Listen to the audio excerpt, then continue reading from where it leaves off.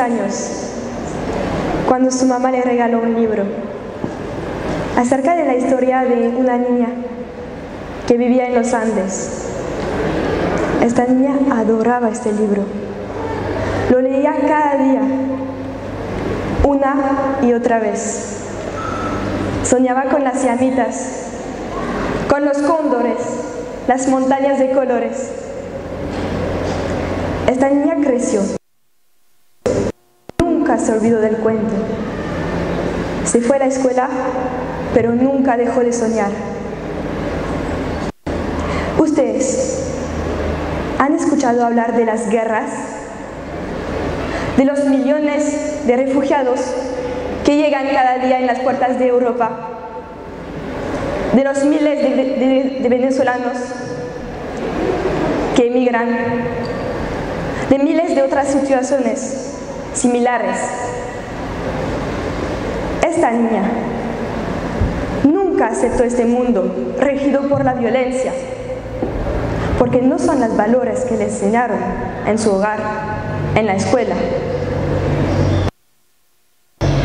Fue intercambio a los 17 años.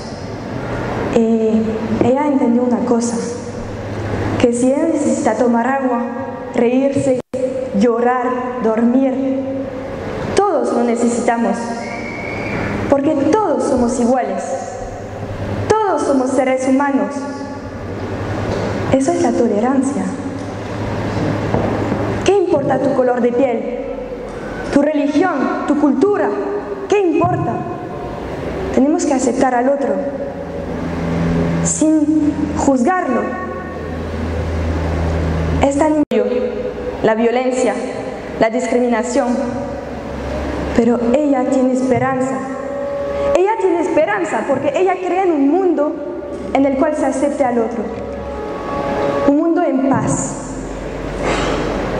Su intercambio fue un golpe fuerte, una verdadera lección de vida.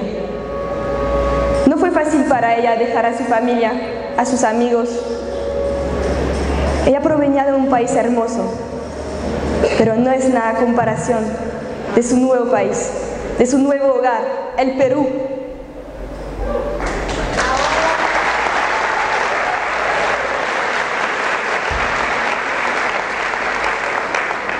Encontró a gente con un corazón inmenso, hermoso, y tuvo familias geniales. Les quiero agradecer, realmente, gracias.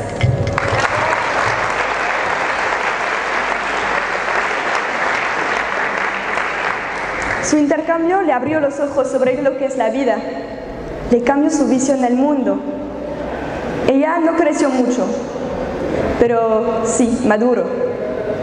Ustedes, ¿qué saben de cómo viven los pobladores de la comunidad de San Pedro de Manatí, en el departamento de Loreto, si no han ido? Ustedes, ¿qué saben de cómo va un niño a la escuela si no caminaron con él? ¿Alguna vez en sus vidas han escuchado hablar de este peque peque que se hundió en el río Amazonas con seis niños a bordo, seis niños de ocho años que han muerto, todos? ¿Ustedes alguna vez han escuchado hablar de este niño de cinco años, cinco añitos que andaba en el camino de la escuela? Le ha mordido una serpiente y ha muerto. ¿Y ha muerto? Porque su familia no tenía los recursos para salvarlo. No, ¿verdad? Porque eso no les interesa a las redes sociales. Pero Rotary, Rotary es una organización de paz, luchadora por los derechos humanos. Yo sé que sí, a los rotarios sí les importa.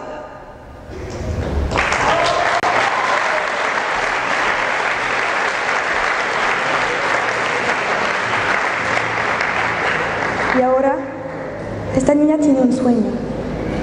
Ella quisiera que ustedes sean los fundadores de este nuevo mundo con el que sueña. Seamos los fundadores de este mundo. Y ahora les invito a darse las manos. Darse las manos para que juntos estemos unidos por esta misma energía pacífica. Dense las manos.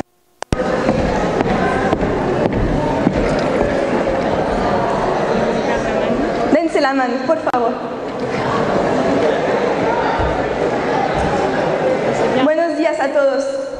Estimado gobernador, estimado representante de la Rotary Internacional, estimados compañeros de Rotary, estimados compañeros míos, ¿se acuerdan de esta niña?